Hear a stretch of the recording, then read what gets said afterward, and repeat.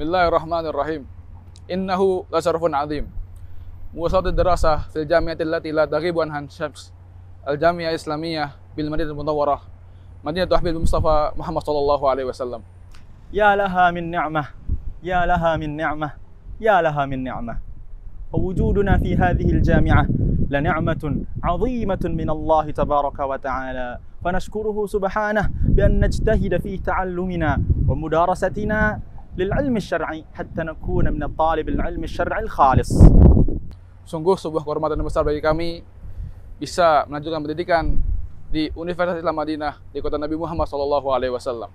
Dan alhamdulillah sampai saat ini sudah ada sekitar 90-an alumni yang tengah berjuang baik itu jenjang S1, S2 maupun S3.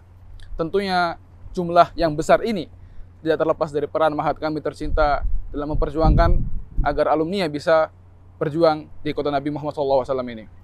Dan tentunya di antara peran-peran besar yang diperjuangkan oleh Mahat adalah yang pertama perjuangan para sejarah kami untuk mendapatkan akreditasi dari Universitas Islam Madinah sehingga alhamdulillah atas karunia Allah Subhanahu wa taala Mahat Imam Bukhari pada tahun 2011 silam sudah mendapatkan akreditasi dari Universitas Islam Madinah. Yang kedua adalah nasihat dan juga semangat dari para asatidah kepada kami untuk senantiasa belajar, belajar dan belajar. Untuk senantiasa menuntut ilmu hingga akhir hayat nanti. Karena yang demikian itu adalah kewajiban kita sebagai seorang muslim.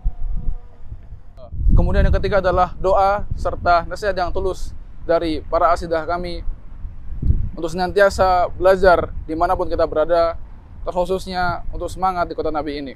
Serta Alhamdulillah setiap tahunnya asidah kami dalam agenda kegiatan umrohnya senantiasa berkunjung ke kota Madinah sehingga menjadi kesempatan bagi kami untuk menyambung silaturahim dengan para asatidah sehingga meskipun kami sudah lulus silaturahmi dengan para asatidah tidak terputus. Dan juga tidak kalah pentingnya peran staf-staf pondok yang membantu kita untuk mengumpulkan berkas-berkas yang harus diserahkan kepada Universitas Islam Madinah. Kemudian yang berikutnya adalah penyetaraan kurikulum serta pembiasan bahasa Arab.